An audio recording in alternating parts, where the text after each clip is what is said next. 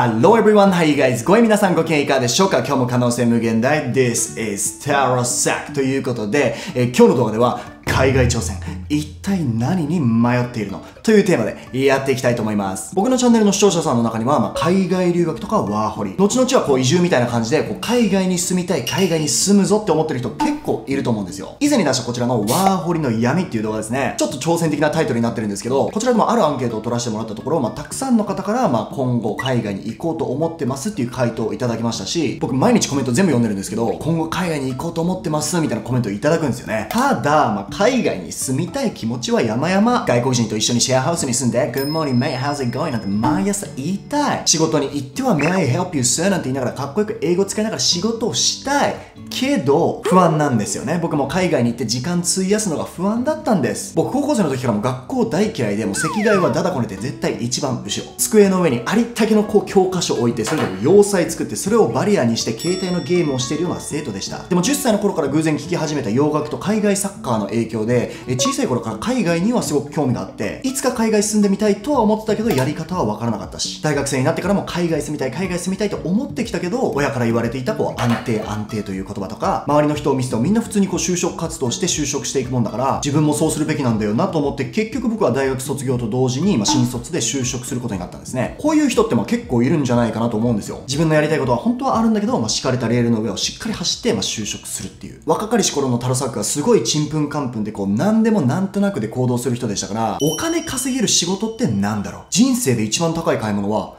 家か。じゃあより多くお金を動かせる不動産がお金稼げそうだから不動産に就職しようということで、まあ、不動産会社を中心に、ま、就職活動して、えー不動産の大きな会社に入ることになりました。ただまあそんな理由で入ったもんだから情熱もなければ特にこれといった目標もなかった僕は、えー、割かし早い段階で毎日こういう風に思いながら生活してました。明日仕事に行きたくない。とにかく朝から晩まで憂鬱なわけですよ。朝起きたら仕事に行きたくない。仕事が終わったら明日仕事に行きたくない。休みの日に関してはああもう休み終わっちゃう。明日仕事だ。まあこういう風に言うとねそんなの当たり前でしょと。仕事は行きたくなくて当たり前それが大人っていうもんでしょっていう人いるかもしれないんですけどそんな人生僕は嫌です。はいそんな忍耐力と付き合って常に生きていけません。明日が嫌だと思って毎日生きていくわけにはいかないんです。僕は悩んだ結果半年で仕事を辞めてかねてから興味があった海外生活をすることに決めました。めちゃめちゃ不安でしたね。持っていくお金40万円しかないんだけど足りるかな？この後どうなるんだろう？行くのであれば、まあ、永住権を取るっていうのをまあ目標にしよう。でももし海外に数年いて日本に帰るっていうことになったら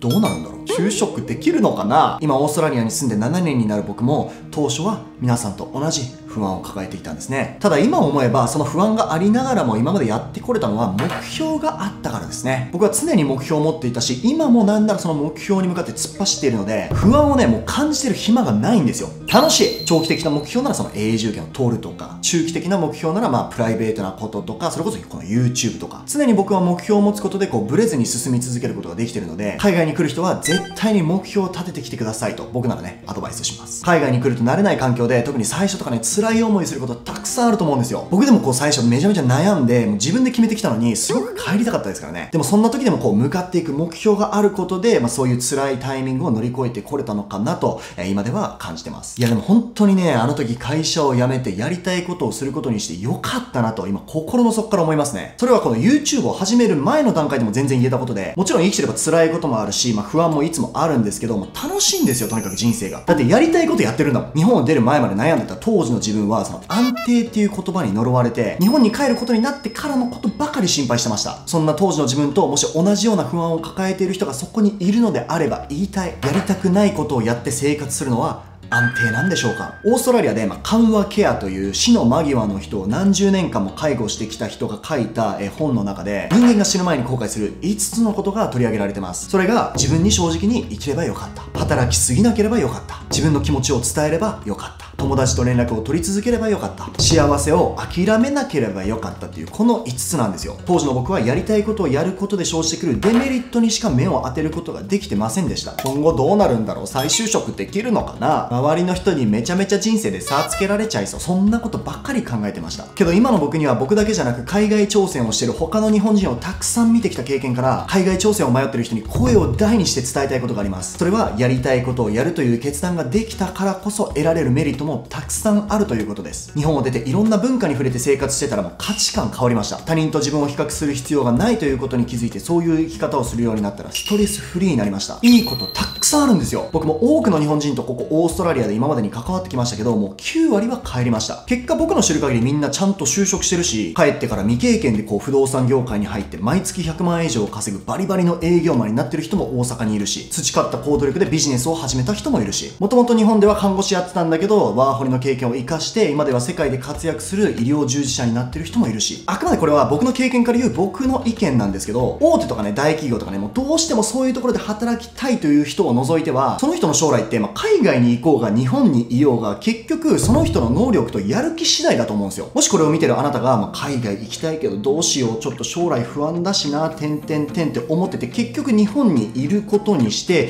で、えー、人より成功する人間なのであればあの海外に12年行こうがあのどこにいようが結局その人って成功する人だと思うんですよ。これは逆もしかりだと思います。何も怖くないですよ。もし何か失敗したとしても失敗から学べることってめちゃめちゃ人としてあると思うし行動しないで後からいやあの時こうしてればよかったなって思う方が怖くないですか？それが海外挑戦ではない何か他の形だとしても僕は同じことが言えると思います。ここまで動画を見てくれたあなたはきっとヘビータロ作家。そんなあなたの背中を僕は押します。この動画を見てくれた人で少しでも多くの国外線が学満席になればいいなと思います。僕もまだまだ皆さんと同じ挑戦者です。皆さん一緒に頑張っていきましょう。航空会社さん企業案件待ってます。ということでまた次の動画で。バイバイ。